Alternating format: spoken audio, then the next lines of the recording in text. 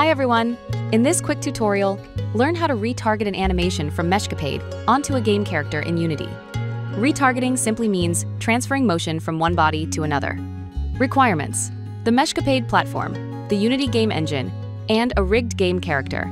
This example uses a character from the Unity Asset Store, link in the description. Step 1. Export from Meshcapade. Upload any video with motion to Meshcapade, or select one from the motion library. In the avatar settings, set Shape to Female. Reset measurements to default to avoid unwanted deformations from body shape or blend shape differences.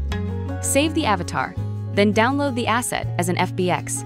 That completes the export. Step 2. Setup inside Unity. Inside Unity, import the downloaded FBX and the Cowboy asset. Drag both into the scene and set their Y position to zero, so they sit on the ground.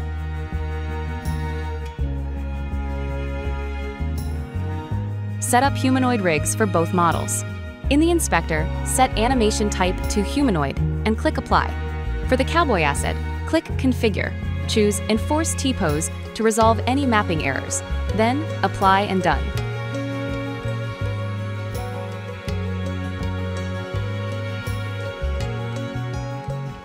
Assign the cowboy material to the cowboy model in the scene.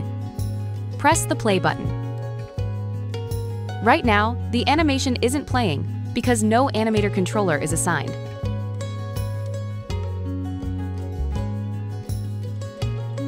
To fix this, create a new animator controller.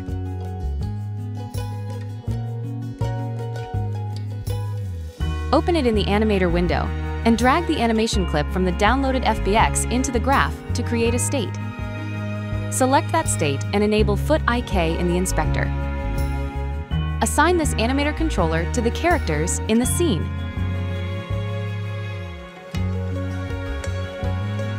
Press play to preview.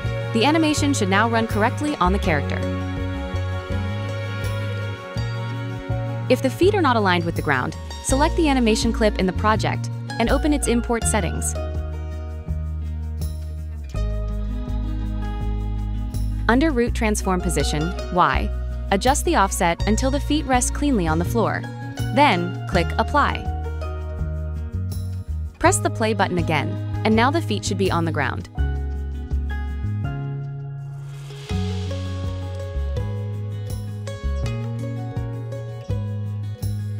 Thanks for watching! For more Meshcapade and Unity walkthroughs, subscribe and turn on notifications. To keep learning, check out our tutorial playlist linked in the description.